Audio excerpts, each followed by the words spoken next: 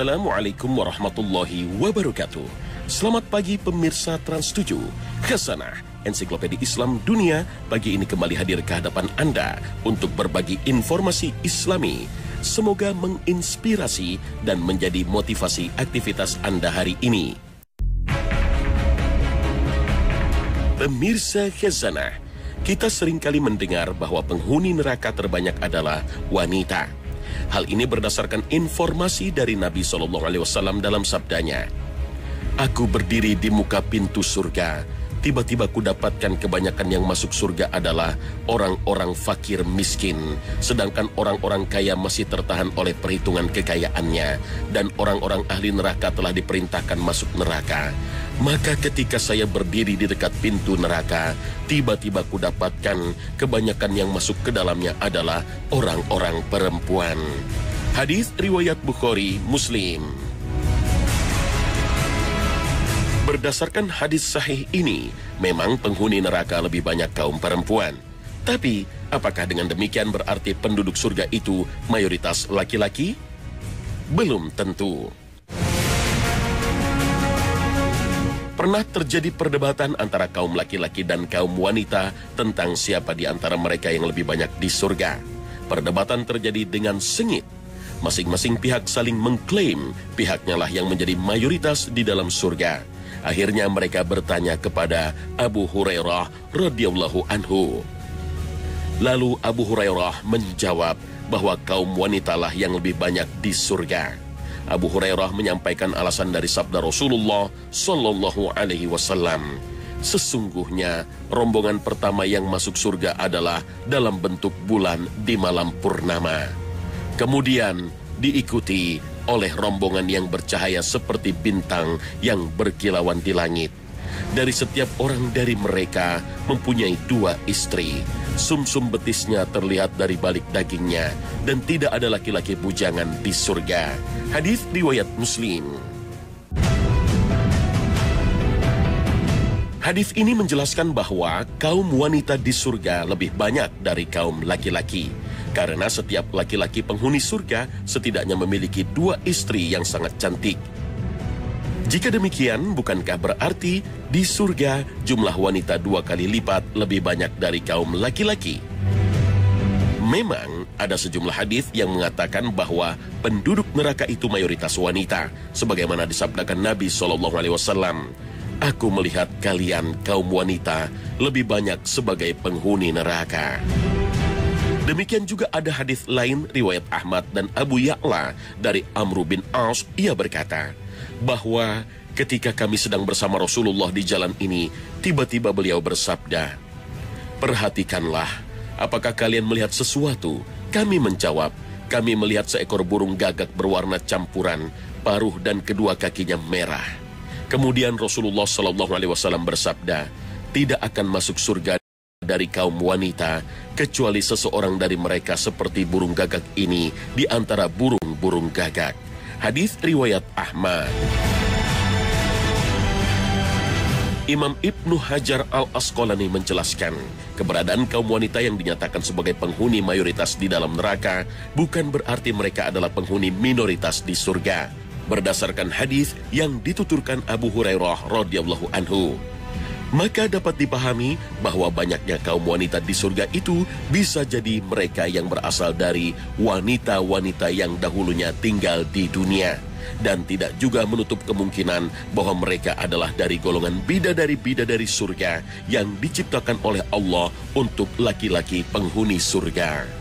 Wallahu a'lam bissawab.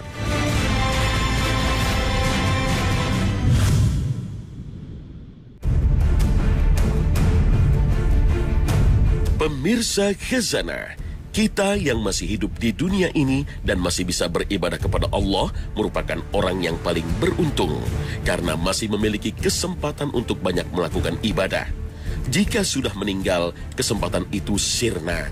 Tak ada lagi kesempatan beribadah dan beramal soleh sebagai bekal di akhirat kelak.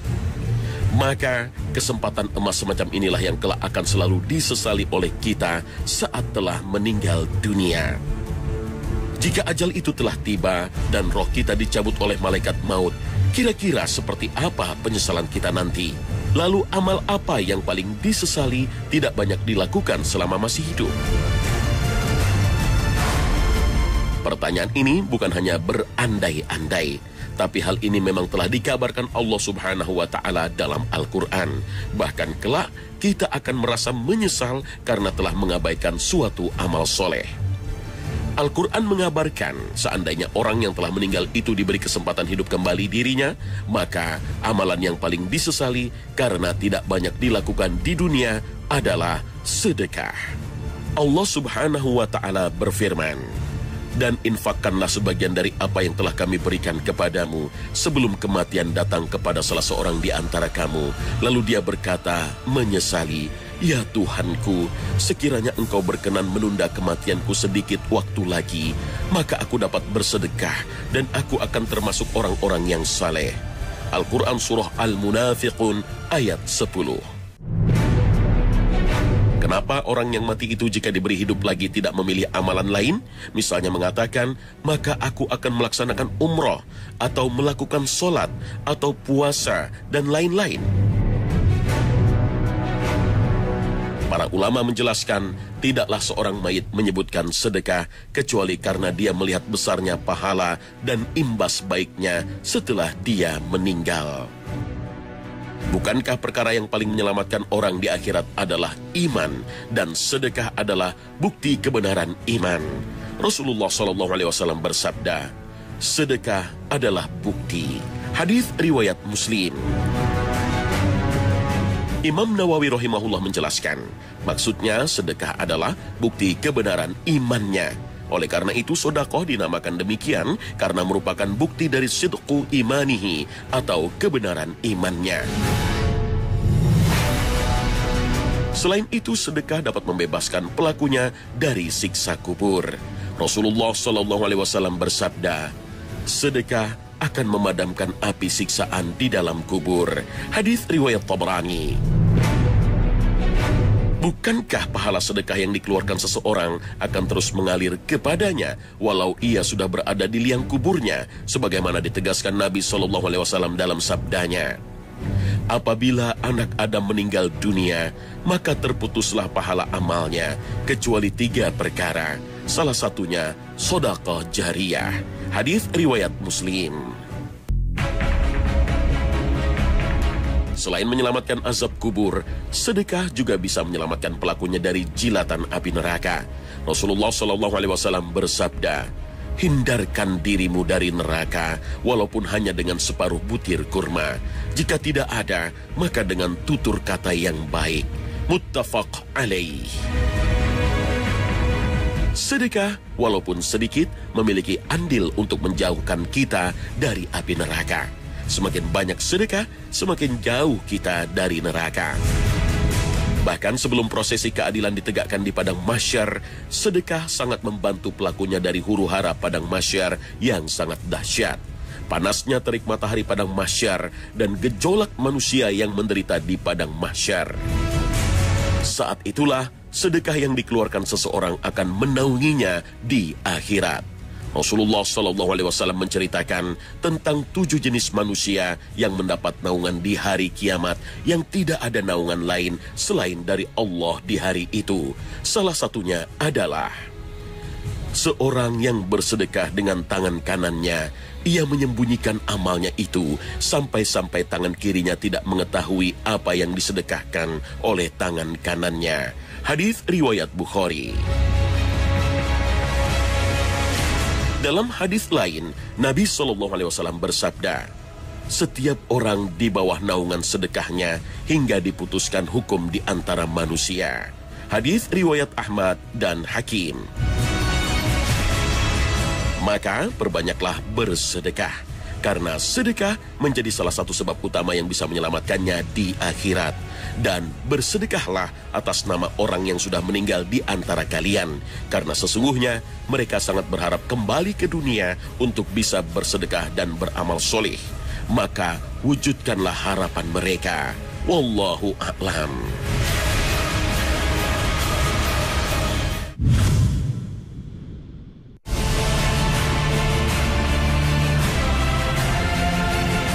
Pemirsa Khazanah, memasuki waktu siang, ada kebiasaan Rasul Shallallahu Alaihi Wasallam dan para sahabatnya untuk tidur sejenak yang disebut dengan koilullah. Rasulullah Shallallahu Alaihi Wasallam bersabda, koilullah lah atau istirahat sianglah kalian. Sesungguhnya setan-setan itu tidak pernah istirahat siang. Setelah wafatnya Rasul Wasallam, kebiasaan ini selalu diikuti para sahabatnya. Suatu ketika ada orang-orang Quraisy yang duduk di depan pintu Ibnu Mas'ud ketika tengah hari. Ibnu Mas'ud mengatakan, bangkitlah kalian untuk istirahat siang, yang tertinggal hanyalah bagian untuk setan. Umar bin Khattab bila melewati sahabat-sahabatnya pada tengah hari atau mendekati tengah hari mengatakan, bangkitlah kalian, istirahat sianglah, yang tertinggal menjadi bagian untuk setan. Itu sebabnya ulama menegaskan, Koilulah pada pertengahan siang itu sunnah. Menurut penuturan putranya, kebiasaan tidur siang ini tidak pernah ditinggalkan oleh Imam Hambali. Selain itu, tidur, istirahat siang atau koilulah juga termasuk kebiasaan yang menyehatkan asalkan tidak berlebihan. Akan menyegarkan badan dan membantu kita untuk bangun sholat malam.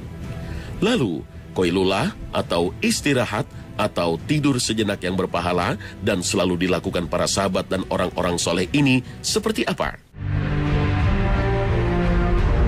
Koilulah dalam bahasa Arab artinya tidur pada pertengahan siang. Karena diterjemahkan koilulah dengan tidur siang, maka banyak yang menyangka koilulah mesti harus tidur. Apakah memang demikian? Koilulah memang tidur sejenak di siang hari, tapi maknanya juga mencakup istirahat pada siang hari. Inilah yang ditegaskan As-San'ani rahimahullah bahwa koilulah adalah istirahat pada pertengahan siang walaupun tidak tidur. Lalu kapan waktu yang koilulah atau istirahat siang itu ibadah? Apakah sebelum zuhur atau sesudah zuhur atau keduanya? Syarbini rahimahullah menjelaskan bahwa koilulah adalah tidur sebelum tergelincirnya matahari atau waktu zuhur. Sedangkan menurut Al-Munawi rahimahullah, koilulah adalah tidur di pertengahan siang ketika zawal tergelincirnya matahari atau mendekati waktu itu, baik sebelum atau sesudahnya. Namun lebih tepatnya waktu koilulah adalah setelah zawal atau zuhur. Sebagaimana riwayat dari Sahal bin Sa'ad radhiyallahu anhu berkata, Kami dahulunya tidaklah melakukan koilulah, tidur sejenak di siang hari dan makan kecuali setelah sholat Jumat di zaman Nabi Shallallahu Alaihi Wasallam. Riwayat ini dipertegas oleh Anas bin Malik radhiyallahu anhu. Mereka atau para sahabat dulu biasa melaksanakan sholat Jumat, kemudian istirahat siang atau koilulah.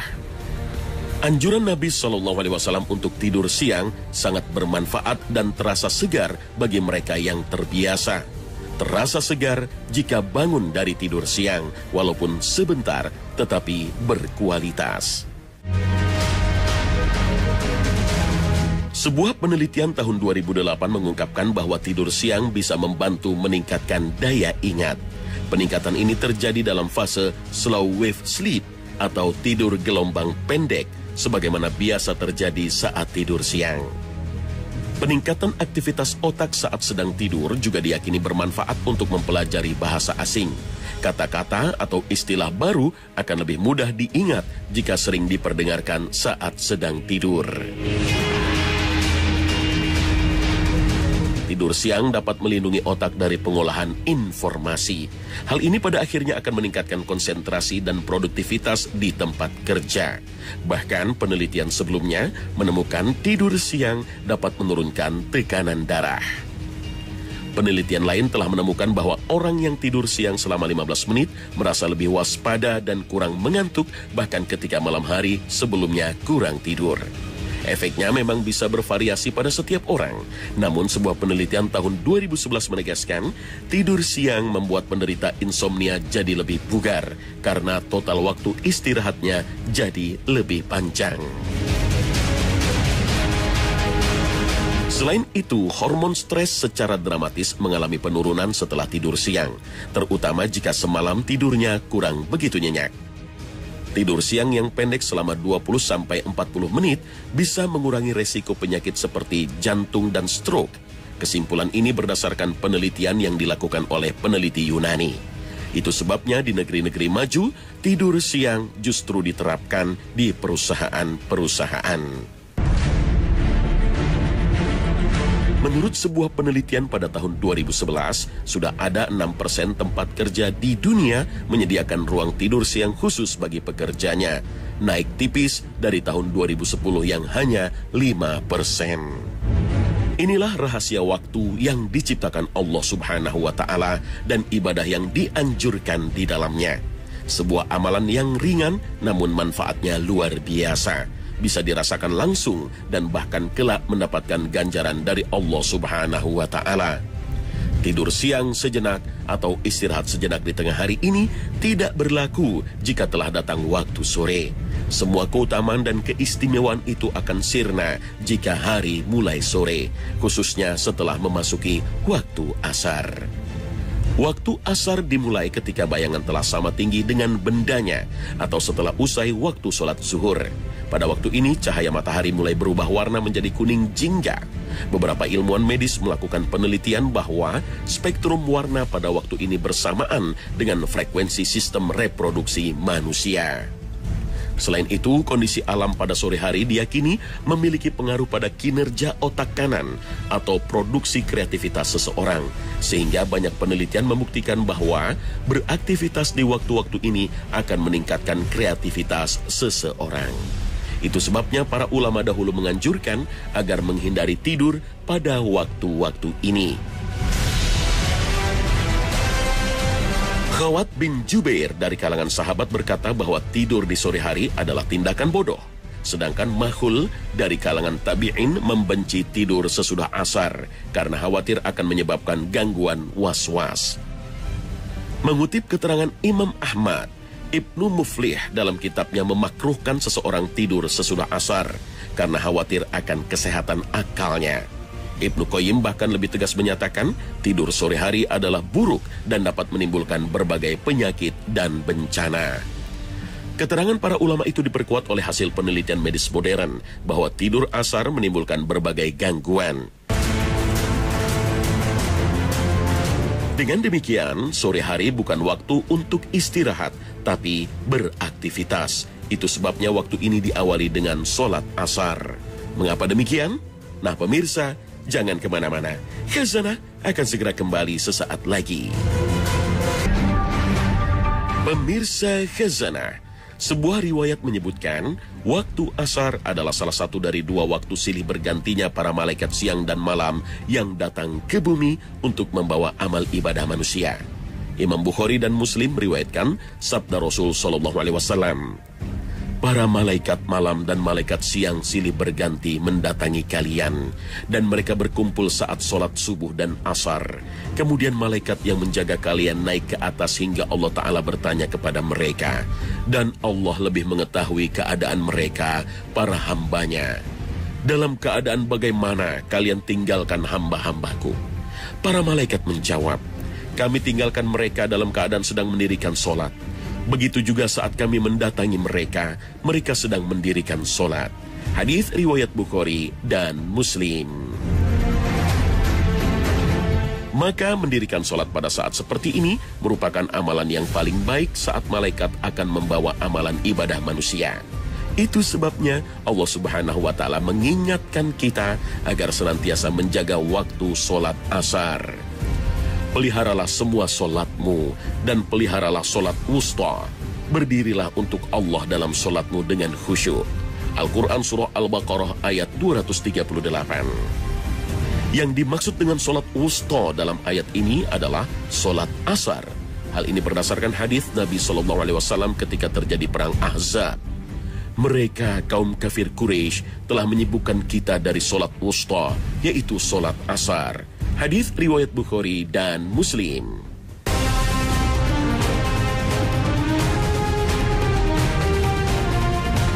Bagi yang senantiasa menjaga sholat asarnya, Rasul Shallallahu Alaihi Wasallam bahkan menyampaikan kabar gembira akan pahala besar bagi yang memelihara sholat ini. Rasul Shallallahu Alaihi Wasallam bersabda, Sesungguhnya, solat ini, solat asar, pernah diwajibkan kepada umat sebelum kalian, namun mereka menyia-nyiakannya.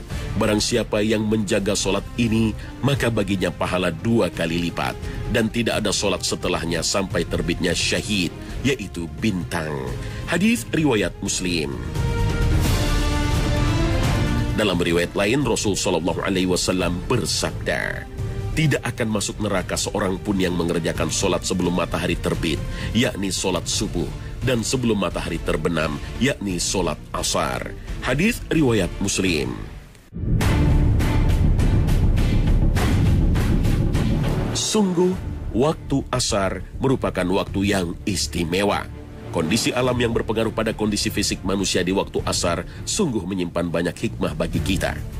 Jika sholat asar telah ditunaikan, maka tidak ada sholat sunnah setelahnya hingga waktu maghrib tiba. Imam Ahmad meriwayatkan, Rasul Shallallahu Alaihi Wasallam bersabda, Janganlah sholat ketika terbit matahari setelah subuh. Sebab matahari terbit di antara dua tanduk setan dan setiap orang kafir sujud kepadanya dan jangan sholat ketika tenggelam matahari setelah asar, sebab matahari terbenam di antara dua tanduk setan, dan setiap orang kafir sujud kepadanya. Hadis riwayat Ahmad. Sahabat Umar bin Khattab radhiyallahu anhu hampir mencambuk seorang sahabat karena menjalankan sholat sunnah ketika matahari mulai terbenam. Dalam hadis Anas disebutkan bahwa Rasulullah Shallallahu Alaihi Wasallam bersabda, itulah sholat orang munafik ia duduk menanti matahari di antara dua tanduk setan. Lalu ia berdiri dan melaksanakan sholat empat rokaat dengan cepat. Tidaklah ia mengingat Allah kecuali sedikit. Hadis riwayat Muslim. Wallahu a'lam. Nah, pemirsa, sampai di sini akhir perjumpaan kita hari ini. Semoga Allah Subhanahu wa taala senantiasa memberikan hidayah dan taufiknya kepada kita. Amin ya rabbal alamin. Terima kasih atas perhatian Anda. Wassalamualaikum warahmatullahi wabarakatuh.